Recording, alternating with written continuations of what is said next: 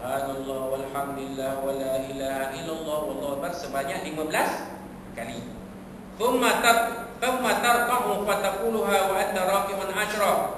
Kamu rukuk dan ketika rukuk itu kamu baca tasbih sebanyak 10 kali. Berapa dah semua kak? 20 Summa tarfa'u ra'saka min ruku'i fataquluha ashra. Kemudian kamu bangun dan kamu angkat kepala kamu daripada rukuk yakni i'tidal, kamu bacalah ketika i'tidal itu 10 tasbih. Sami Allahu liman hamidah rabbana walakal hamd. Tamanina. Subhanallah walhamdulillah wala ilaha illallah wallahu akbar. Jadi berapa semua kak? 30 Thumma tahwi sajidan fataquluha wa anta sajidun asyara. Anta sajidun asyara. Kemudian kamu sujud dan bacalah ketika sujud itu 10 tas tasbih subhanallah wa bihamdi subhanallah wa bihamdi subhanallah wa bihamdi. Tumanina subhanallah walhamdulillah wala ilaha illallah wallahu akbar. Berapa kak? 40 Fadzalika khamsu wa okay. Thumma tarfa'u ra'saka min as-sujud fataqulha ashra. Kemudian kamu angkat kepala kamu daripada sujud. Ha, duduk dua tengah sujud, kamu bacalah 10 tasbih. Ha, kan? Baca 10 tasbih. Jadi, ya Allah Akbar, Rabbi firli warfa'ni wajburni warzuqni wahdini wa'afini wa'afani. Tamanina. Subhanallah walhamdulillah wa la ilaha illallah wallahu akbar. Fadzalika khamsu wa sab'una fi kulli raka'atin dan semuanya berupa ada 73 75 tasbih. Kenapa Nabi tak sebut sujud kedua tu?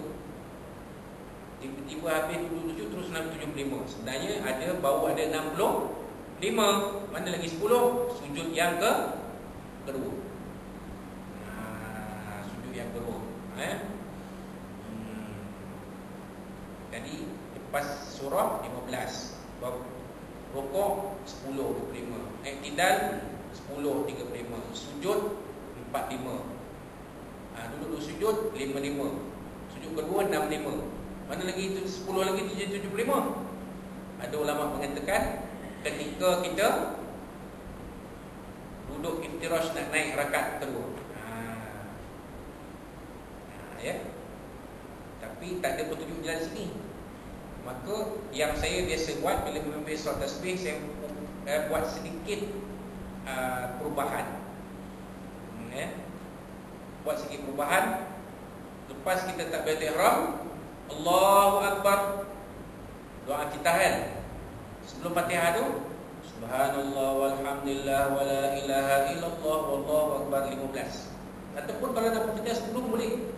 Kalau kita tak nak lagi daripada sunnah Nabi ni, kita buatlah Fatihah tu 10 aja. Tapi tak cilah Fatihah 10 ayat 15. Maka Fatihah 15 ayat 10 sebab Fatihah tu rukun dalam sembahyang. Ayat itu sunat dalam sembahyang. Mana lebih tinggi? Fatihah tu ataupun ayat yang lain? Fatihah lebih tinggi lagi. Maka Fatihah kita buat 5 15. Ayat 10. Jadi semua kita kira balik semuanya 70 ni 75 rakaat kedua punya tu naik Allahu akbar Sebelum nak baca Fatihah Subhanallah walhamdulillah wala ilaha illallah wallahu akbar Tengok belah Ayat 10 Rukuk Iktidal sujud Duduk sujud Sujud kedua 10 semuanya Jadi 70 ni 75 Satu solat 7, eh, 100 setengah. Dua solat 300 300 Taf'alu dhalika fi arba'i raka'atin. Kamu kerjakan sebanyak 4 rakaat rakaat. Macam saya kata tadi ya lebih baik kita buat dua campur dua. Tidak menimbulkan pertanyaan. Kalau buat empat direct orang bertanya orang yang tak tahu apa cerita akan bertanya Jadi, kalau buat dua campur dua tak ada masalah okay, orang tahu kata itu semayang so semayang sunat tasbih ya baik ini kata tak atusalliha fi kulli yawmin marrah kalau mampu kamu buatlah tiap-tiap pagi tiap-tiap hari boleh buat siang. Ada orang tanya ustaz, boleh tak sembahyang tasbih kita buat siang? Jawab Tuan Aziz, boleh. Boleh buat tasbih waktu siang. Ya. Cuma afdalnya kita buat pada akhir sepertiga malam. Yang ini waktu waktu kemulail tu, waktu tu elok buat. Tapi kalau tuan-tuan nak buat sembahyang tasbih lepas sembahyang duha boleh. Boleh. buat nak buat? Kalau kita berat waktu time lain kita kan biasa buat sembahyang duha pagi Jumaat kan? Ha, boleh buat tambah. Lepas duha kita buat tasbih. Lepas tasbih kita buat hajat. Lepas hajat doa terus. Kelas cuma dia panjang lah. Saya beritahu kat awal-awal. Kalau akak tak percaya akak tulis dekat YouTube solat tasbih satu solat tasbih dua ha, nampaklah saya jadi imam. Tuan-tuan boleh tengok berapa minit tu? 16, 15 minit, 16 minit. Untuk dua rekan Semayang biasanya 5 minit. Biasa semayang tasbih dia boleh pergi sampai 15 15 minit. Ha, Panjang nanti Setengah jam makan. Campur doha apa semua Satu jam. Mula ke 8 sampai pukul 9 Meeting start pukul 9 Macam mana tu? Ha, kan? ha, Jadi tu pulang lah eh, Pada kita Sebab kita tak disuruh buat lagi pun Kalau mampu buat dia tak hari Fa'al Fa illam taf'al fa fi kulli jum'atin marrah. Ha, kalau tak mampu buatlah setiap pagi Jumaat, setiap hari Jumaat sekali. Fa illam taf'al fa fi kulli syahrin marrah. Kalau tak mampu juga buatlah sebulan sekali. Boleh ya tuan ya? Kata kita buat dua hari minggu tapi ada satu minggu tu kita buat tasbih sekali. Ha, Ustaz Majid standby eh. Kalau rasa-rasa tak pernah buat, tontonlah video kita. Solat tasbih satu dan solat tasbih dua. Ha, tengok betul. Tu nanti boleh buat. Kan, bukan susah. Semayang Hai, takkan susah yang yang yang kita nak jaga Tang tasbih tu.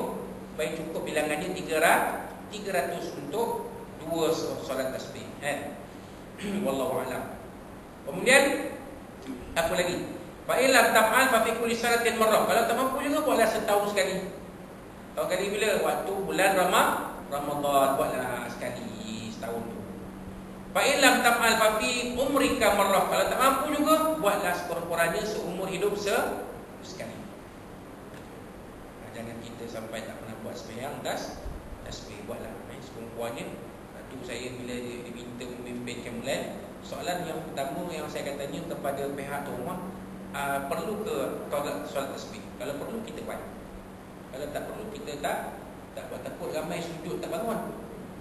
Panjang ni eh Kalau tak biasa buat nanti kan Sujud aja kau Rupanya dah koh-koh dah.